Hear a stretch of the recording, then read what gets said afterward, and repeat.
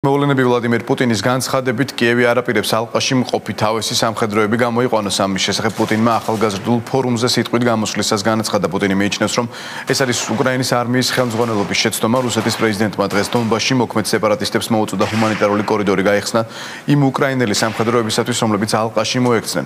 პრორუსმა ტერორისტებმა სატყოფნა გამოთქვეს ალყაში მყოფი უკრაინელი სამხედროებისათვის კორიდორი გაეკეთებინათ თუმცა იმ პირობით რომ ისინი იარაღს ჩააბარებდნენ რაზეც უარი მიიღეს ბოლო ინფორმაციით უკრაინის არმიის ხელმძღვანელობა მიიღო გადაწყვეტილება არ გამოიყვანოს ალყაში მყოფი სამხედროები და პირიქით შეიარაღებულ ფორმირებებთან იბრძოლოს. მე ვფიქრობ ეს არის კოლოსალური შეცდომა, რომელიც მიგვიყვანს სერიოზულ მსხვერპლამდე.